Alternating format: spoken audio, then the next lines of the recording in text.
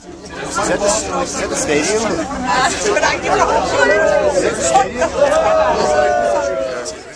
All right, we're at Cape Town, Cape Town Mountain, Tabletop Mountain in Cape Town. It's awesome. The best thing ever, unreal. So, stadium, Stadium back down there. World Cup. Just took a trolley up. Took a Probably trolley. one of the scariest things, but one of the best things ever. Unreal, awesome experience. Definitely one of the coolest things ever. How you doing? Tom Adair here on top of Table Mountain, South Africa. Uh, looking out over Cape Town City right now, World Cup Stadium. Uh, gonna go see uh, the stadium later, go see a game. Hopefully uh, Ajax Cape Town win. And then after that we're gonna play five-a-side with a couple of local kids and see how it goes. So looking forward to a good day here in South Africa. Hey, it's Caesar. Um, we just got back from the tour with um, folks right here. We went to go see Table Mountain, then we went around town, checked the beach. Um, it's really nice. It's cool.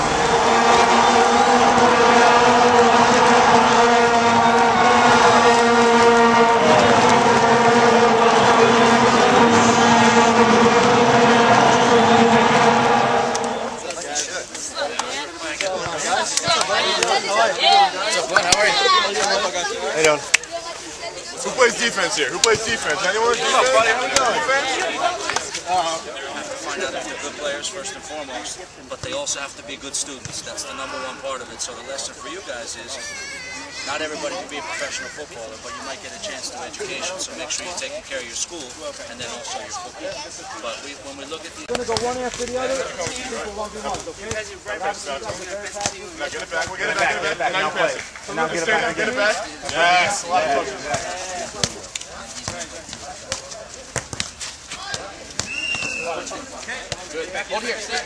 Now play it again, again, again. Play it again, again. Show him your skill. Good. Oh, finish! Finish! You want to, RC.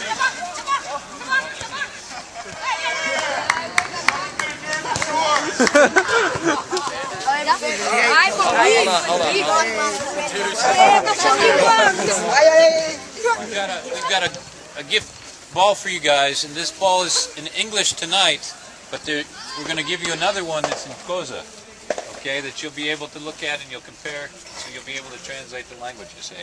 Sinatembo. You guys, let's, I'd like to get one player from mine to come up and receive it, okay? Quintano, come on up here. Let's go, baby. well done, you guys. Thanks, guys. Thank you very much for everything. Thank you. Hey guys, thank you for your work with the boys. Uh, today was a great day in South Africa. We went to Table Mountain in the morning. We had a great tour of Table Mountain, climbing up to the top of Table Mountain. Unbelievable sightseeing. It was a magical day. Uh, we did a tour of the surrounding area of Cape Town and the beach areas, uh, and we went to see Ajax Cape Town play in the World Cup Stadium. Unbelievable. We just finished a clinic outside the stadium with some local youth teams. Uh, we had a great day where we did some demonstration stuff for them, and then uh, we also jumped in and played soccer with them. It was a wonderful opportunity.